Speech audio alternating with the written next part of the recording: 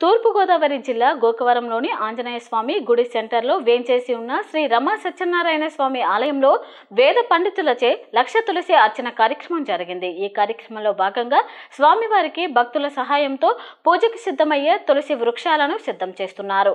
ఆలయ పండితులు కొల్లూరి జగన్నాథ శర్మ స్వామివారికి అత్యంత వైభవంగా లక్ష తులసి అర్చన కార్యక్రమం ఎంతో ఘనంగా నిర్వహించబడుతుందని అన్నారు. రాత్రి ఏడు గంటలకు జరిగే స్వామివారి కళ్యాణ మహోత్సవ వేడుకలలో అధిక సంఖ్య సంఖ్యలో భక్తులు పాల్గొంటారని పంచామృతాలతో పళ్ళ రసాలతో అత్యంత వైభవంగా విశిష్ట పూజలు నిర్వహించబడతాయని ఆలయ అర్చకులు తెలిపారు.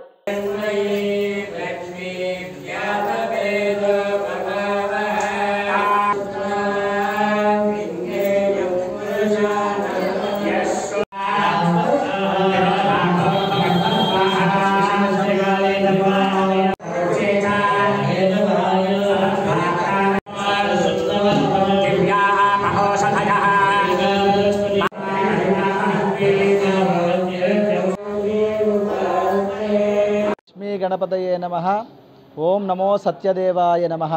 మన గోకవరం గ్రామంలో అతి పురాతన దేవాలయమైన శ్రీ సత్యనారాయణ స్వామివారి ఆలయంలో ఈరోజు కార్తీక మాస పూజా మహోత్సవాల్లో భాగంగా శ్రీ రమా సత్యనారాయణ స్వామివారికి శ్రీ భద్రాద్రి సీతారామచంద్ర స్వామివారికి లక్ష తులసి అర్చన కార్యక్రమం చేయడం జరుగుతుంది. ఉదయం తొమ్మిది గంటల నుండి భక్తులు శ్రీ కండిపల్లి చిట్టుబాబు గారి దంపతులు శ్రీ మంగరోతు దుర్గా శ్రీనివాస్ గారి దంపతులచే గణపతి పూజా కార్యక్రమం పుణ్యాహవాచనం శ్రీ రమా సత్యనారాయణ స్వామి వారికి శ్రీ భద్రాద్రి సీతారామచంద్ర స్వామి వారికి పంచసూక్త పంచసూక్తాలతో వేదమంత్రాలతో పళ్ళరసాలతో సుగంధ ద్రవ్యాలతో పంచామృతాలతో విశేషంగా అభిషేచన కార్యక్రమం అనంతరం లక్ష తులసి అర్చన కార్యక్రమం సంధ్యాకాలంలో లక్ష్మీ సుదర్శన హోమం రాత్రి ఏడు గంటలకు స్వామివారి దివ్య కళ్యాణ మహోత్సవం చేయడం జరుగుతుంది.